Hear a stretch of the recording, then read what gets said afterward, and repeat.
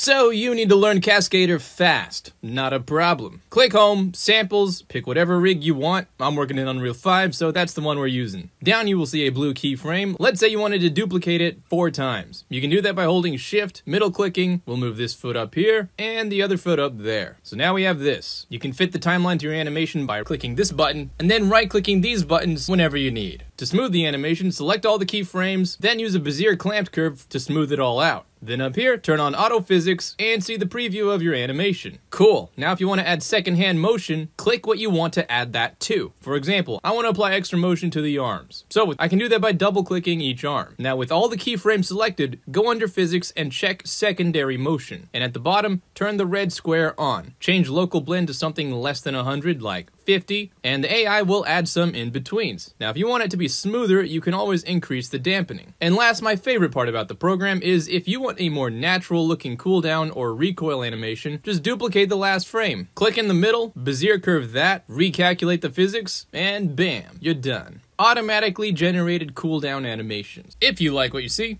go up and click Snap to Auto Physics, which will basically bake everything in. From here, file, export FBX, import it to Unreal as a standard mannequin, and reap the rewards. Hope that helps, and as always, hope you have a fantastic day, and I'll see you around.